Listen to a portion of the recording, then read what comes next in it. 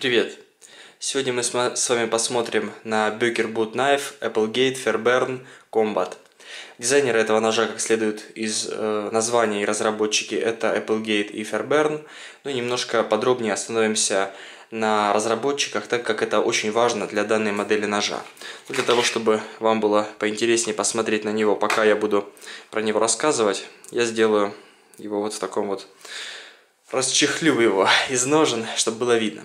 Applegate основал знаменитое управление стратегических служб, ООС. Это было военное разведывательное, управление, которое было предшественником Центрального разведывательного управления ЦРУ.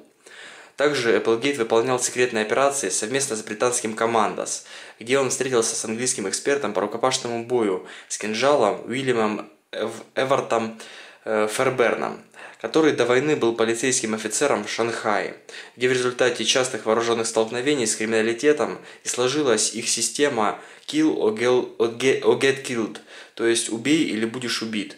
И основным холодным оружием для него тогда был шанхай, шанхайский кинжал. Совместно э, с Верберном, который был назначен в качестве инструктора ООС, Applegate смог начать программу обучения рукопашного боя. В то время Эпплгейт также был личным телохранителем президента Рузвельта. Рекс Эпплгейт является автором ряда книг военных действий, которые считаются стандартными во многих армиях и сегодня. После войны он был и тренером мексиканской армии, где был повышен до звания генерала за его борьбу с гражданскими беспорядками.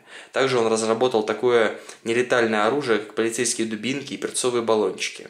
Среди его последних разработок это боевой нож АФ, ну то есть Бекер, Бутнаев, Applegate, Fairbairn. АФ – это, соответственно, фамилия разработчиков. Разработан был нож в середине 90-х годов, который предполагался как скрытое нож... Э, оружие скрытого ношения. Для этого Applegate сделал особый акцент на дизайне. Он был вдохновлен дизайном копий из Японии, э, которые в силу своей геометрии лезвия имеют очень высокую проникающую способность. Закалка данного ножа до 58 единиц по Роквеллу.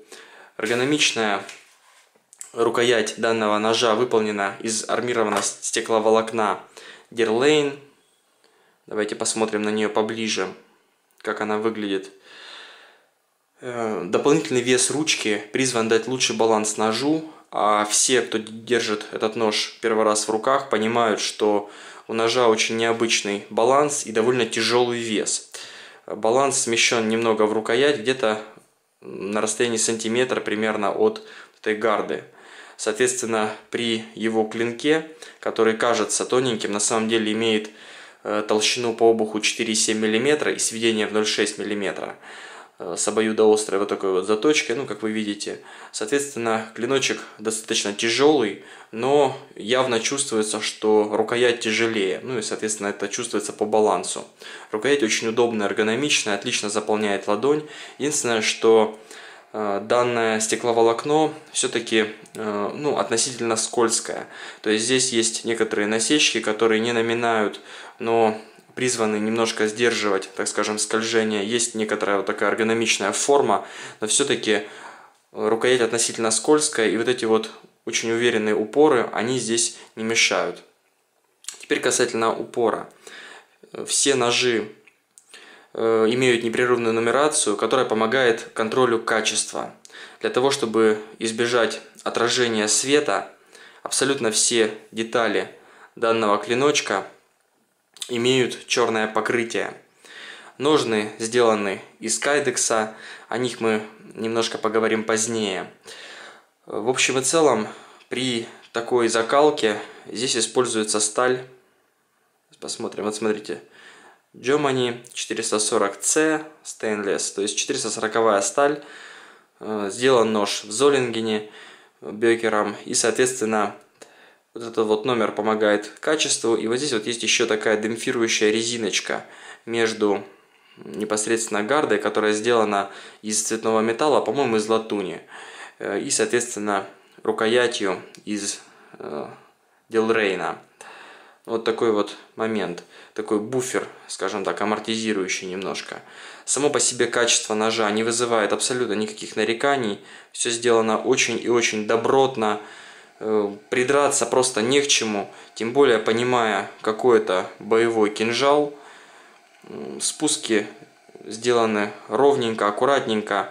В принципе, вполне такое резучее даже и сведение. Но, конечно же, нож в первую очередь предназначен для такого серьезного укола. Очень серьезный боевой нож, на мой взгляд. Огромное отверстие можно подвязать удобный темляк. Если говорить о его конструкции, я видел фотографии данного ножа в, разобранном, в разобранном виде. Э, конструкция, можно назвать ее full tank, потому как хвостовик, э, соответственно, клинка проходит в рукоять практически до самого его навершия, то есть где-то вот до вот этой части. Здесь, соответственно, крепится, все это без особого труда при необходимости разбирается. Упоры очень удобные, опять-таки ничего при силовой работе не будет наминать, потому как очень-очень все удобно. Хотя, опять-таки, какая силовая работа? Это в первую очередь нож, который должен иметь, наверное, каждый мужчина для каких-то таких непредвиденных ситуаций. Это тот нож, который, конечно же, будет в основном лежать на полке, но это тот нож, которым можно восхищаться и который может где-то выручить в очень-очень критической именно боевой ситуации. Я не просто так рассказал о истории создателя данного ножа, потому как это отражает его суть и э, понимание этого клинка приходит только после того, как поподробнее узнаешь легендарность его истории. Такой вот нож, давайте еще в двух словах про ножны. Здесь есть вот такое вот крепление на них и все, э, все необходимое для того, чтобы закрепить данное, данный крепеж на ножнах из кайдекса. Удивительно то, что этот крепеж сделан фирмой Blade Tech от США. Вот это меня немножко удивило. И здесь вот есть такой зацеп, фиксатор. Вот он фиксируется, соответственно, открывается. Только после этого еще нужно дополнительно прижать вот эти вот усики вот таким вот образом. Так, прижать. Вот они зацепляются, зацепляются. Раз, 2. То есть очень надежное крепление будет на ремне. Ну, как мы видим, довольно много отверстий, как на самом вот этом крепежном элементе, также и непосредственно на ножнах из кайдекса. И, соответственно, можно их закрепить в различных положениях. Ну, помимо того, что можно продеть через них паракорд и примотать, так скажем, э, нож различными еще большими вариациями. Ножны очень плоские, аккуратные, э, действительно предназначены, возможно, даже и для скрытого ношения, хотя я все-таки не представляю скрытое ношение такого большого ножа.